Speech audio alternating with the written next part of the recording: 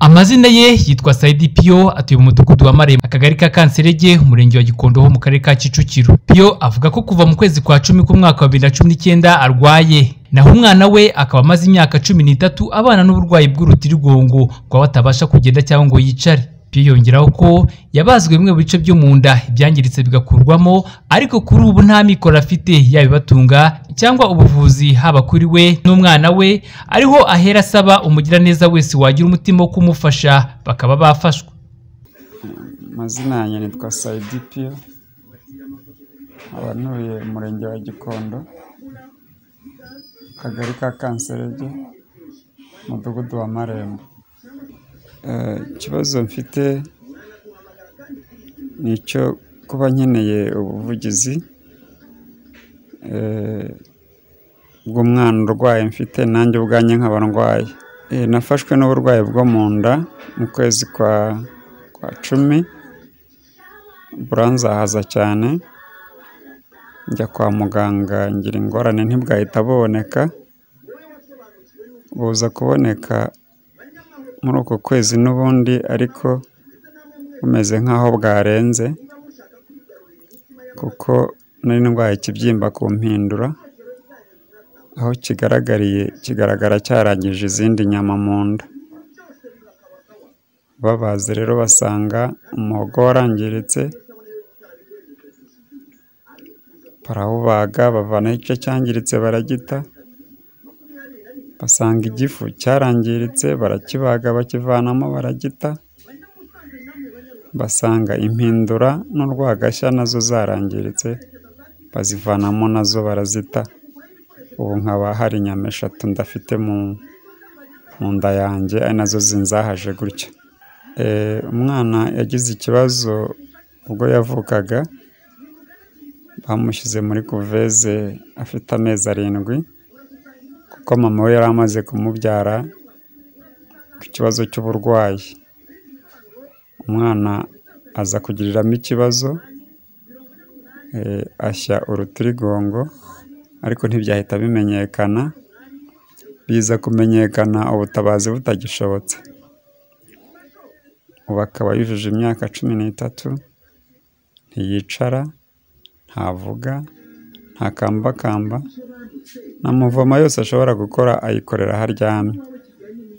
Tukaba twasabaga ko hamwe n'umugiraneza washoboka ko badufasha kubera ko batumenyesheje ko ashobora kuvurwa agakira urwo rutirigongo rwe bakarugorora rugakira. Imibereho iragoye kuko nko kuva muri uku kwezi kwa cumi ndaryamye kandi turi mu buzima bw'ubukode kubera ko aho twari dufiteho kuba hacu bwite twahatanze turimo tuvuza nyakwigendera nyina w'uwo mwana kuko namurwaje imyaka icumi n'amezi atandatu ubundi arapfa. Ubuyobozi ntuyemo hano ntuye mpamaze imyaka itandatu ikibazo barakizi kuko ni ho na nyakwigendera yatashye ariho mba n'umwana baramuzi nta kintu na gito bigeze bakora ku kibazo cyanjye kandi ntabwo wahatira umuntu kugufasha. Kuko ibintu biba byigaragaza ikibazo kukibonera igisubizo byangora abantu benshi baba bameze nk'abihugiyeho niko navuga. Sinzi niba navuga ngo wenda haziyemo n'ibi bihe ariko ibi bihe nta gihe biramara ku buryo umuntu yabigereranya n'igihe gishize. Ntakagombye kuba wenda mfite ubundi bufasha runaka nabonye. Abaturanyi tubanye neza ni uko mu bigaragara ubushobozi bwo kuba bagira icyo bamfasha icyo babasha gukora baragikora ibyiringiro byo gufashwa n'ubuyobozi biba ari bike. Biba ari bike imyaka itandatu irahagije kugira ngo utaragufashije uvuge ngo azamfashe ejo. Niyo mpamvu ntakubwira ngo mfite ibyiringiro ko ubuyobozi hari icyo bwamfasha kuko burabizi no muri ayo mezi icumi ndwaye nta muyobozi nigeze mbona. Nasabaga ubufasha kwivuza jya ubwanjye nkabanza ngakira kuko kuba nzahaye gutya akenshi ni uko ntabona uko nivuza ngo igice cyari gisigaye cyo kwivuza kuko nagombaga kuvurwa amezi atandatu. Nimaze kuvurwa amezi ane n'iminsi makumyabiri. Nsigaje gufata imiti ihwanye na miliyoni imwe n'ibihumbi magana abiri mu kwezi kumwe n'iminsi icumi. Ubwo rero namara kugira amahirwe ndangije imiti nkaba nasabaga ko habaye hari igishoboka cyangwa hari abagiraneza babonetse hakwitabwaho n'umwana nawe akavurwa. Yego nimero ya telefone yanjye ni zeru karindwi umunani umunani mirongo itanu na kabiri makumyabiri na gatandatu cumi n'umunani.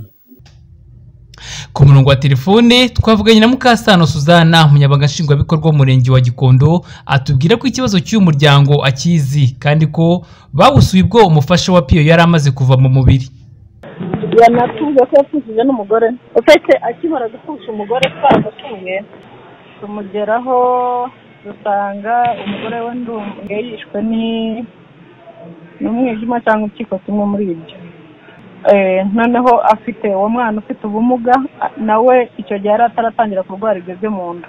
Noneho kubera ko umwana yari afite ikibazo turavuga ngo turamuporopoza kugira ngo tumushyire mu cyiciro cya mbere ajya afata amafaranga ari afashishwa abatishoboye aratubwira ati icyiciro cya mbere kiragorana ati icyiciro utafata inguzanyo utagira gute? Ati ubwo mfite umwana umwe nkaba nkifite imbaraga reka nkore uko nshoboye mukorere. Ati nta kibazo. Ati nzunganirwa nk'abandi bose ariko ntabwo najya mu cyiciro cya mbere kuko ntabwo ari umuntu ukuze cyane uretse ibyo bibazo yagiye agira. Kuko nyuma rero ubwo yaje kugira icyo kibazo cy'uburwayi ndumva abantu twamwegera agafashwa ibyo ari byo byose birumvikana ko aho yatekerezaga ko yakura imibereho ni muri ubwo buzima yari afite kuva rero ubuzima butakimeze neza abantu bamwegera bakamufasha birumvikana. Ariko kumumenya ko turamuzi n'icyo kibazo cy'uwo mwana turakizi twashatse kumushyira muri icyo cyiciro cya mbere kugira ngo afashwe kubera uwo mwana aravuga ati ubwo gifite imbaraga? Ati nta mpamvu yo kujya mu cyiciro cya mbere ati nakora ubushoboka byose. Ariko ubwo hajemo uburwayi bumeze gutyo byanze bikunze birumvikana ko akeneye kunganirwa ko ntabwo byaba bigikunda. Akomeza avuga ko icyihutirwa ari uko basura umuryango bakareba uko ubayeho kuri ubu kandi bagashyirwa no ku rutonde rwo gufashwa. Icyihutirwa ni ukumusura tukabanza tukamugeraho tukareba imibereho abayeho birumvikana niba adafite uko abayeho ni ukumufasha.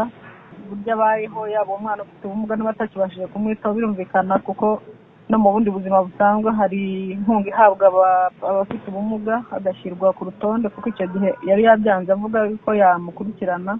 Tugiye kumugeraho kumukorera ubuvugizi ariko by'ibanze biba ari imibereho y'ubuzima bwa buri munsi kureba uko umwana yakomeza gukurikiranwa no kuvurwa n'uko nawe yafashwa numva ari cyo tugiye kwihutira gukora.